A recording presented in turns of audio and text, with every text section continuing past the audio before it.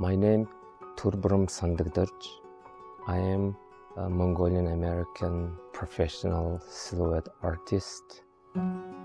I create silhouettes called Tsagasun Baru. Sagasumbaro is the paper silhouette art in Mongolia. My father influenced me as the artist. In the college, I learned ceramics. Ceramics is three-dimensional. The ceramics and the paper cuts is not different. It's the same thing. It's the same feelings. Just you using different tools and materials. You need to grab the paper and scissors and start to cut. It's very important in the silhouette, the tools, the scissors.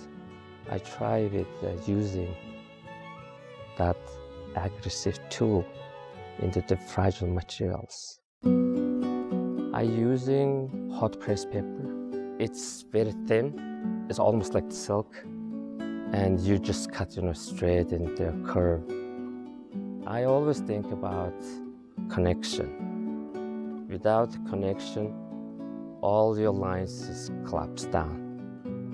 I try to start to end just one image, one meaning, one feeling.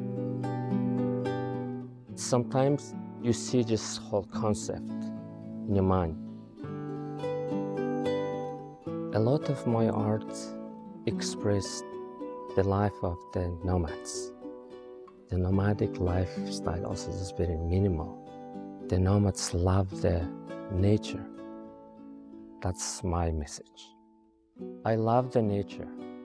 You see the open space and the sky like the blue like the ocean. And the night you see just the Milky Ways, thousand stars. And you just connect. It talks with you. I always simplify everything. It's kind of minimal. I just choose the minimal life for me is the works for me and also expressing into my art. I illustrated more than 40 books, mythology, the folk tales, poetry, and history. I love the history.